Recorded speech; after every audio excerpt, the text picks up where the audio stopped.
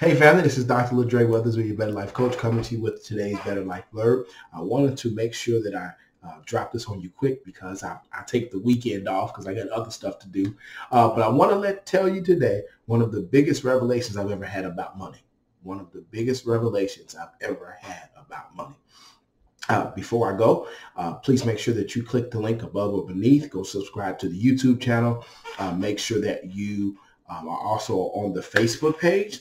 Uh, and then do me a favor, share this information with other people because I know you know people who want to achieve their financial goals two to 20 years faster. And I don't mean the little ones only, the big ones too. All right. Uh, my biggest revelation about money. You ready? Here we go. Uh, it deals with two words, yes and no.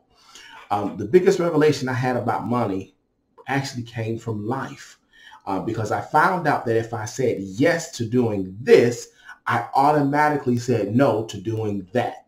So for example, I love to play video games. And if I say yes to playing video games, then at the same time, I'm saying no to the other things that need to be done. But if I say no to the video games so that I can do the things that need to be and say yes to the things that need to be done, then I can turn around and say yes to the video games and there is no no because I've already fulfilled it. Okay? Now, how does that apply to money?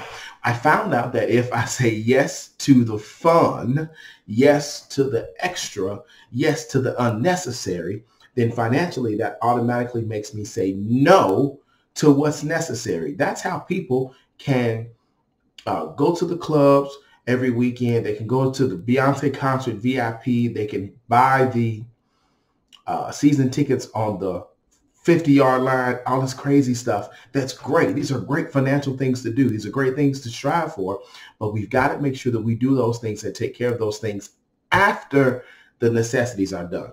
I think one of the worst things in the world to see is somebody pay for a Bentley but live in the projects.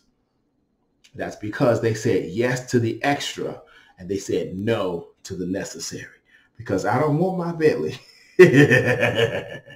in the projects. It just is what it is. And so listen, don't be afraid to step back. Take the moment and begin to put your plan together. That's what I help people do. I help people create the plan that makes their goals come to pass two to 20 years sooner. But we've got to make sure that we understand and get the revelation that when you say yes to this, you automatically say no to that. All right. Thanks so much for joining us. Remember to click the link above or beneath. Go ahead and schedule your call with me. Uh, bring to the call a couple of your goals. Let me see if I can help you make them come to come to pass faster. Because some people I can't, you know. But if I can help you, I will. So that way you'll know for sure that even when life seems pretty good, a better life is best. Blessings to you. We'll talk soon and enjoy your weekend.